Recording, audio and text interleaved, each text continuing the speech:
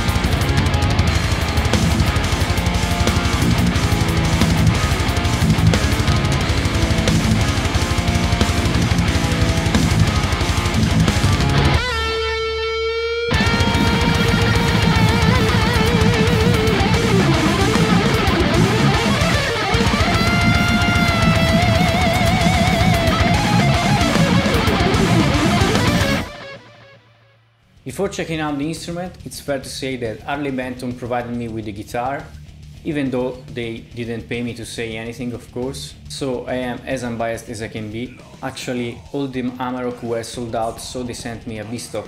Let's go through the specs. We have a neck-through design with mahogany wings, a fake wood body binding, a flame maple veneer, a 5-piece maple mahogany neck, a 14-inch radius Macassar ebony fretboard, 24 jumbo stainless steel frets, glow-in-the-dark position markers, Graph Tech TUSQ nut, Grover locking tuners, and for the electronics we have two EMG retroactive pickups. Inspecting the instrument from the headstock to the body, I couldn't find anything to mention, even though it's a B-stock. The only thing I can call out are some imperfection on the fretboard, in the grains of the wood. There are some white lines. I don't know what it is uh, but they are not rough to the touch so it's more a cosmetic thing. One thing that in my opinion makes a real difference with any instrument at any price range is the setup. And in this one has been very nicely done. Fresh strings low action great intonation and tuning stability. No complaints there. Other than that for this price amazing fret job with stainless steel frets EMG pickups, this very very nice bridge that may remind you of another brand. Now this is very subjective but one of the cons for me is the choice to go with EMG pickups. Not so much because I don't like the brand or active pickups, even though for what I understand these are voiced to sound more passive and less compressed but more about the price increase. To me, Harley Benton are appealing for the low cost and for being very nice mod platforms. And so I would rather choose myself the pickups that are a very personal thing anyway and spend less money about the guitar itself. Plus the active pickup is less versatile in my opinion. Anyway, this doesn't stop you from achieving some nice results also in other scenarios.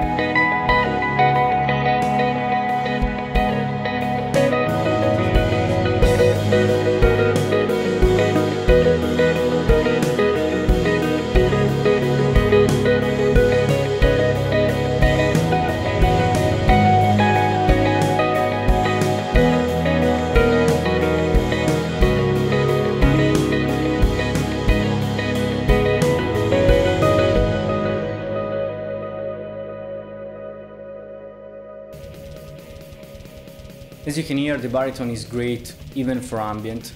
Actually, I think this is a perfect studio tool for adding some nice flavors to your compositions and productions. You have this nice low end that covers a very wide and different spectrum of frequencies. This is great for any situation where you have only one guitar maybe or wherever you want to add some low end. And if you're familiar with Mark Lettieri of Snarky Puppy, you know that you can achieve some very nice funk sounds. Now here the only limitations are the pickups that are not splittable. I tried without it, but I couldn't achieve the real proper funk sound. I made a thing anyway, playing with an octaver, that may be an interesting application.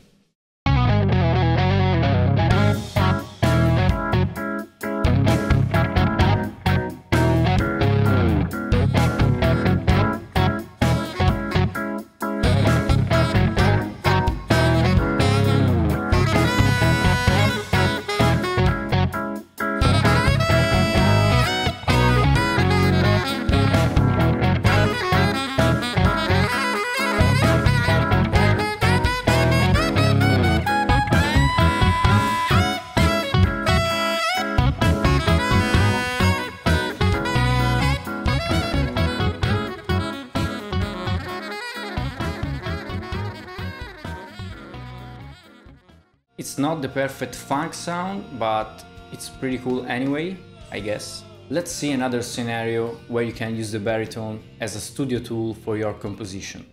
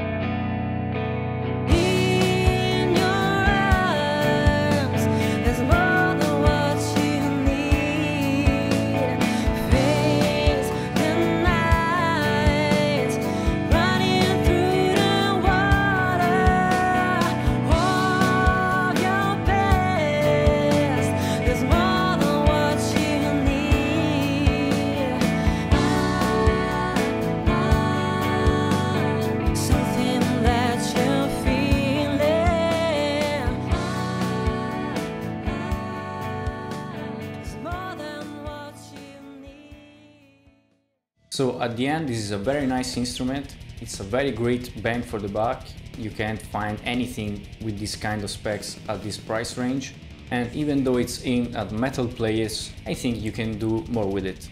Maybe getting different pickups and have a perfect studio tool, a real Swiss knife for your compositions. That's all folks, I shall see you in the next one.